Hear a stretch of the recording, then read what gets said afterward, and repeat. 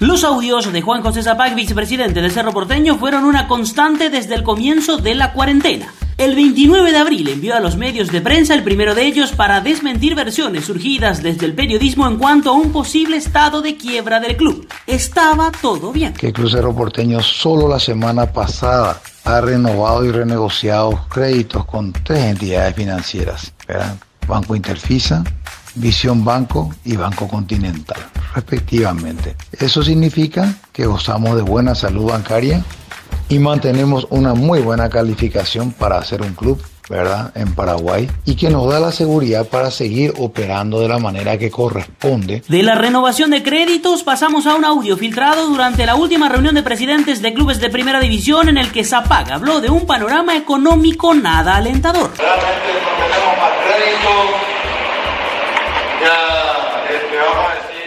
lo que ocurre, ocurre, se sabe. Hoy ya no me importa tanto, ya nos muramos de banco, nos muramos de banco porque algo hay que hablar, ¿verdad? Pero la verdad es que estamos preocupados, la pura realidad. Y también aprovecho para no volver a pedir el micrófono. Nosotros, presidente estamos jugando muy solos. Eh, no digo que no tengamos la apoyo de la PL ni de nadie, estoy hablando de la negociación con los planteles. No hay condiciones del pago. No hay condiciones del pago realmente, señor. Volviendo a la época de la incertidumbre, el 22 de mayo aseguró que el fútbol paraguayo aún no retornaría y hasta tiró entre líneas un mensaje al presidente de Olimpia, Marco Trovato. Que el fútbol no volverá todavía. No vendemos falsas expectativas no vendemos humo diciendo de que las prácticas van a volver dentro de 8 días, dentro de 5 días o dentro de 20 días. El fútbol está suspendido.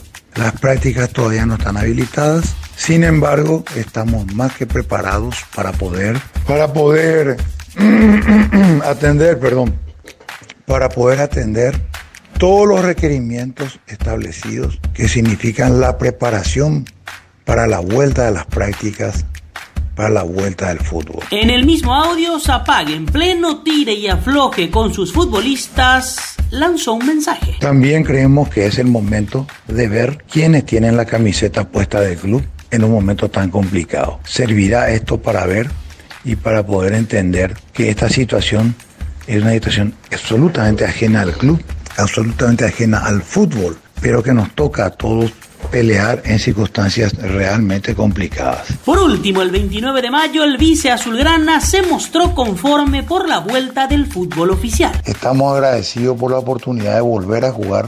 Agradecerle a la APF también por el tiempo que junto con disposiciones del gobierno han coordinado para poder, para lograr que el fútbol tenga una fecha de iniciación.